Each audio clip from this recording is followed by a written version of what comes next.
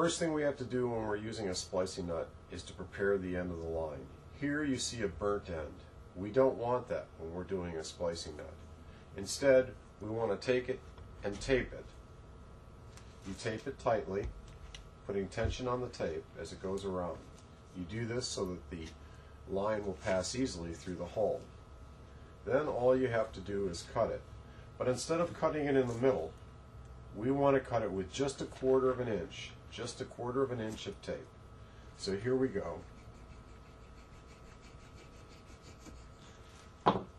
Now that is ready to install in our splicing nut. Note that we didn't cut the line in the middle. Instead, we left just a small segment, and that's all that's needed, because the splicing nut provides its own whipping.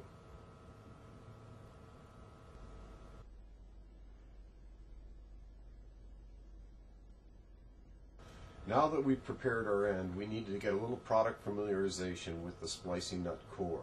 The core is an integral part of the product, and on the core you're going to find numbers and arrows to guide you through the steps. Also on the instruction card, you'll find those numbers and those arrows. It's important that you follow those numbers and arrows because the teeth are highly directional. As you can see, the teeth have a distinct orientation, and you must follow those correctly. Again, read the instructions and follow the numbers.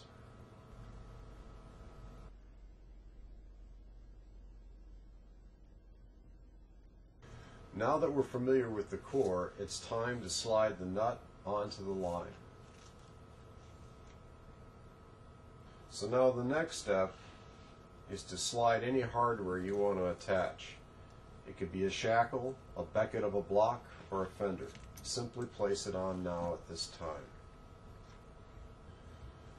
So now what we need to look at on the core is something that we didn't talk about before.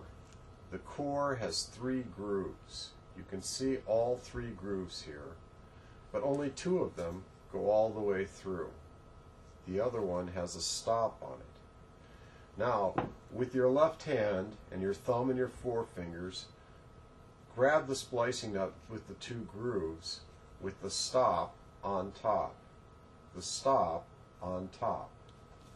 Taking the line, place it next to the stop on top where the number one is indicated. Now we're going to follow our number and arrow as we wrap it around. Change to your right hand. Slide the hardware into position. Change to your left hand.